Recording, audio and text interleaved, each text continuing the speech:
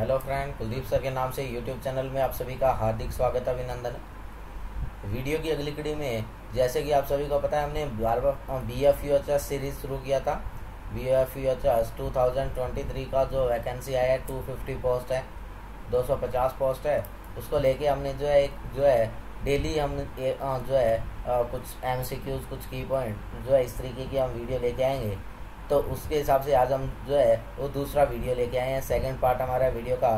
तो जो है, ज़्यादा से ज़्यादा लोगों तक शेयर कीजिएगा चैनल को सब्सक्राइब कीजिएगा और वीडियो को लाइक करना ना भूलिएगा। चलते हैं आगे।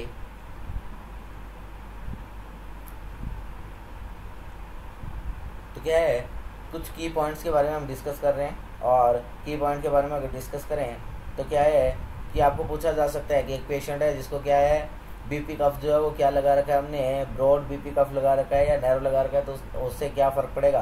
तो आपने बताना होता है कि ये blood pressure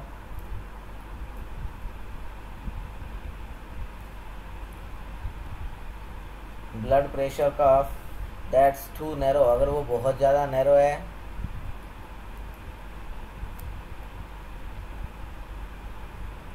too narrow can cause a falsely elevated BP.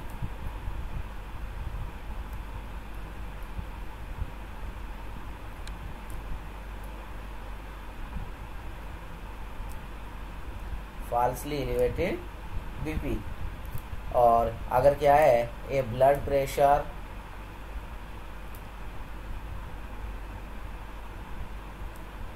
cuff that's too wide और अगर वो बहुत ज़्यादा वाइड है can cause a falsely decrease BP अगर क्या है बीपी का बहुत ज़्यादा नैरो है तो फॉल्सली एलिवेटेड बीपी आएगा। और अगर बीपी का बहुत ज़्यादा चौड़ा है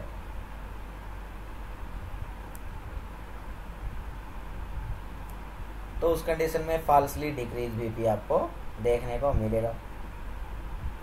इसके अलावा अगर बात करें, आपसे पूछा जा सकता है कि एक पेशेंट जो क्या है डायबिटीज़ मेलाइटिस का पेशेंट है और उसको आपने क्या करना है रेगुलर इंसुलिन और एनपीएच इंसुलिन दोनों मिक्स करके लगाना है तो कौन सा पहले विदड्रॉ करेंगे? तो आपने बताना होता है कि if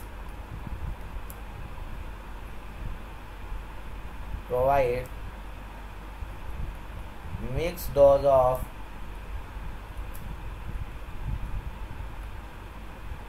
insulin insulin का मिक्स डोज देना है तो क्या करें? Insulin regular fast insulin NPH later तो क्या करना है? एनपीएच को बाद में बनना है और क्या करना है? आपने रेगुलर पहले बनना होता है।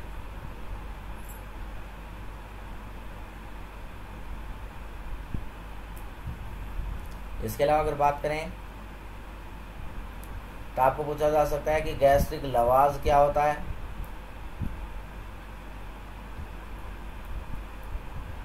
गैस्ट्रिक लवाज तो गैस्ट्रिक लवाज क्या होता है? तो गैस्ट्रिक लवाज का मतलब होता है एम्पटिंग ऑफ़ स्टमक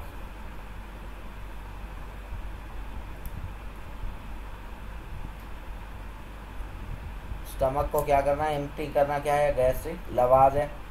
और एक होता है गैस्ट्रिक गवाज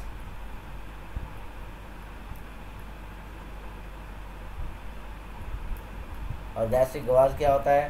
तो forcibly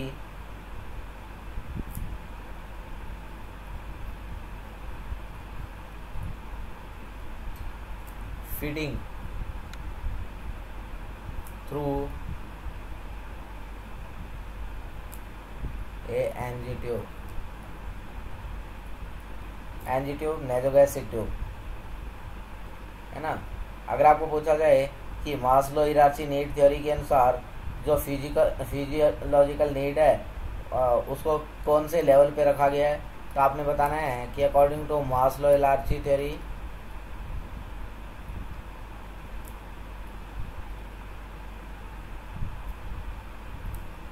Maslow hierarchy theory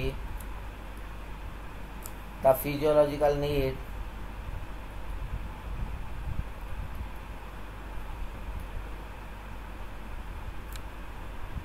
need जैसे हंगर सेक्स थ्रस्ट सेल्टर ये किस पे रखी गई है? इज़ हाइएस्ट प्रायोरिटी इनको किस पे रखा गया है? हाईएस्ट प्रायोरिटी पे रखा गया है।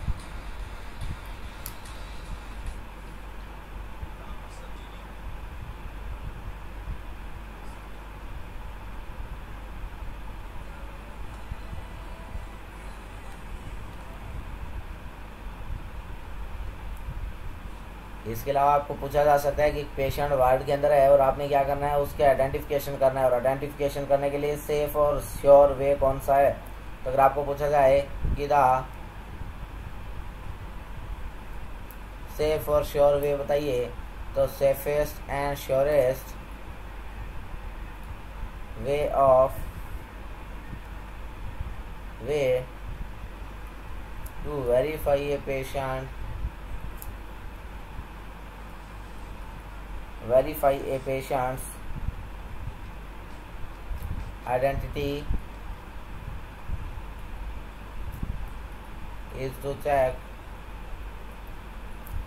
identity is to check the identification band on his wrist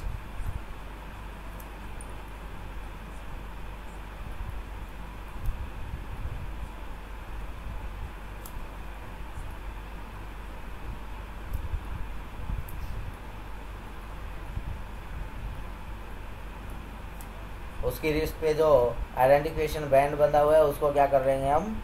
check कर लेंगे।